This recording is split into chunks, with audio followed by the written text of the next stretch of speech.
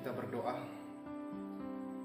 Damai sejahtera Allah yang melampaui segala akal, itulah yang memelihara hati dan pikiranmu dalam Kristus Yesus.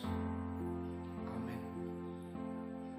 Salam sejahtera, salam sehat bagi kita semua saudaraku.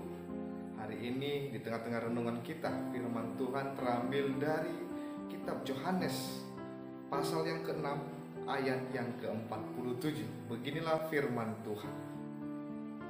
Aku berkata kepadamu, sesungguhnya barang siapa percaya, ia mempunyai hidup yang kekal.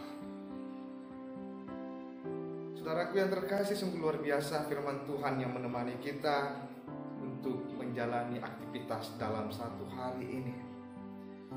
Bagaimana Kristus Yesus menyatakan suatu pernyataan bagi orang-orang yang mengikuti Dia, bagi mereka yang mendengar Dia, terkhusus bagi mereka bangsa Allah, yaitu bangsa Israel, mengatakan sesungguhnya barang siapa percaya, ia mempunyai hidup yang kekal. Ya. Barang siapa yang percaya, dia mempunyai hidup yang. Suatu jaminan yang dinyatakan oleh Kristus Yesus bahwasanya bagi mereka siapa pun yang percaya kepada Kristus Yesus mereka memiliki hidup yang kekal. Hidup yang kekal yang kita peroleh dari keselamatan akan penebusan oleh Kristus Yesus. Mereka yang beriman akan Kristus Yesus, maka mereka selamat. Jikalau mereka selamat, otomatis mereka memperoleh hidup yang kekal. Dan topik kita hari ini, oleh iman percaya kita memperoleh hidup yang kekal. Saudaraku, banyak yang tidak percaya tentang sejarah kehidupan Kristus yang mengatakan dalam Alkitab bahwasanya Dia adalah Tuhan. Ya.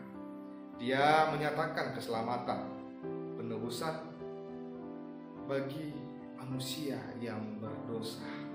Saya, kamu, kita semua. Dan bagi mereka yang percaya kepada Yesus Kristus maka akan memperoleh keselamatan. Namun dalam kehidupan kita sering sekali kita melihat masih banyak orang yang tidak percaya sekalipun dia mengatakan diri dia sebagai Kristen belum tentu dia memiliki iman percaya yang pasti kepada Yesus itu sendiri.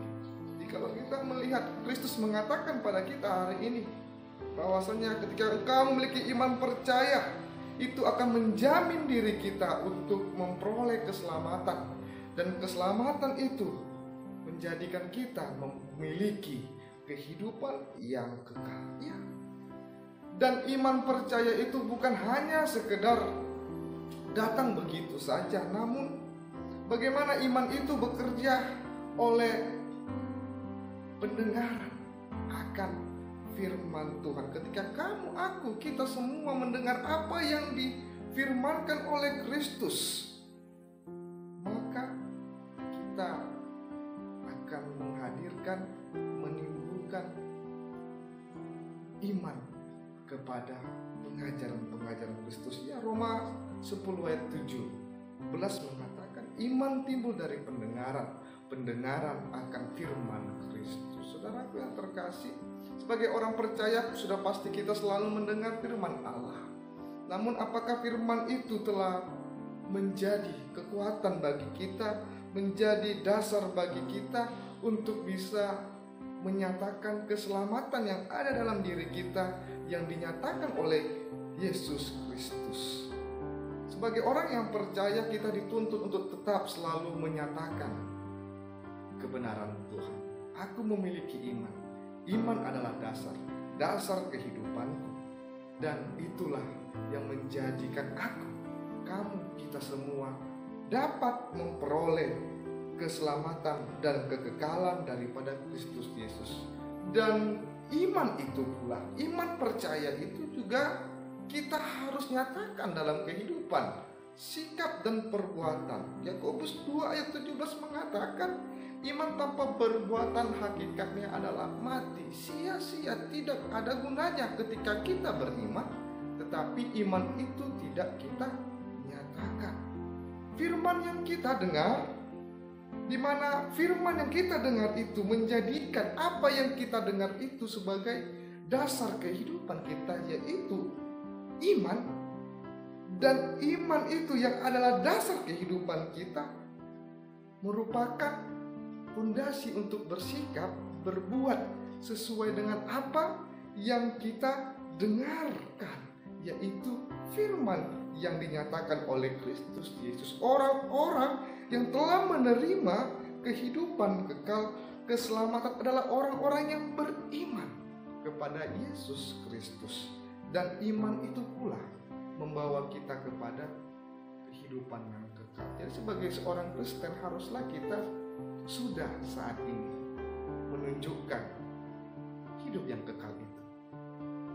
Dalam artian kita adalah orang-orang yang hidup dalam firman oleh dengaran firman kita memperoleh iman untuk kita bisa hidup sebagai warga kerajaan surga.